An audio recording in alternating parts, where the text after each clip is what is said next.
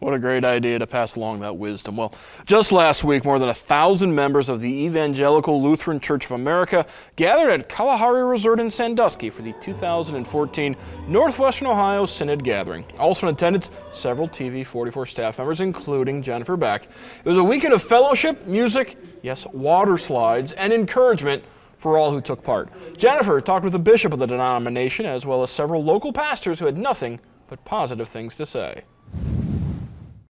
a really enjoyable weekend at Kalahari in Sandusky with the Northwestern Ohio Synod Gathering. Dr.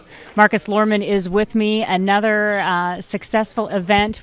More than a thousand people here. Why is it so important to bring together pastors, lay ministers, people of the ELCA for an event like this? I think it does a couple things. One is that it helps the people who are here to realize that that this church is pretty big and involves lots of people with lots of different gifts. So with this particular event, we combined our our annual assembly with an event bringing youth here for a servant event, with an event doing some discipleship training, uh, and with an event that was just for families. For fam- uh, that was led by our uh, Lutheran camp staff. So it did a lot of things, and I think I saw a lot of smiles. In the church as a whole, we hear a lot about the next generation not wanting to embrace the church. What what is the synod doing to help combat that and bring these young people in, not just for the good of them, but that their hearts would desire to reach out and impact others? Well, I think there are a couple things that are that are uh, important. One is simply acknowledging their presence.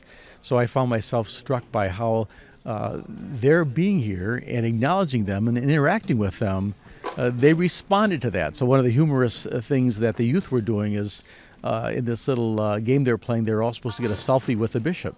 So I'd have all these teenagers running over to me and saying, "Hi, bishop, can I have a selfie with you?" So it was a way of, and that would lead to conversation, engagement. So I think there are ways in which we can acknowledge and and uh, recognize our youth at the same time uh, not talk down to them. So, so I think that those those efforts are really important for congregations had more than a thousand people here, so you certainly had an opportunity to impact many who are going to go back and do the same in their congregations. But if there is one message you could send out to your entire synod through the television camera to encourage, what would you want to say to them to, to step out and uh, show, be the hands and feet of Jesus in what they do? Well, I think our theme, I can't resist going back to our theme for this year, namely growing as disciples, that it's critical for us each individually to grow in our relationship with Jesus.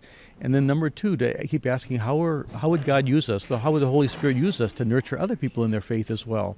and that can happen cross generationally and cross culturally. And and those pieces I think are really important uh, for us to be the church. In this synod, we keep talking about our vocation is to be a sign of God's inbreaking reign in Jesus. Shorthand, when people see us, they see Jesus. That's our prayer. That's wonderful. Thank you so much. Thank you for allowing TV44 to be a part of this event again. Always great to be able to do it.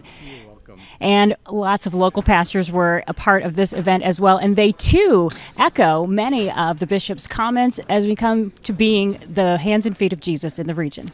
I think this is just a wonderful place, and especially this year as we gather with young people and really young kids and older folks, and a time to gather together to celebrate our faith and to do the business of the church, but to really share the witness of Jesus Christ with the people that are here and hopefully some people that are staying here that may not be from our group. When you're in a parish and a congregation, sometimes you can feel a sense of isolation and that you're just out there by yourself doing your thing.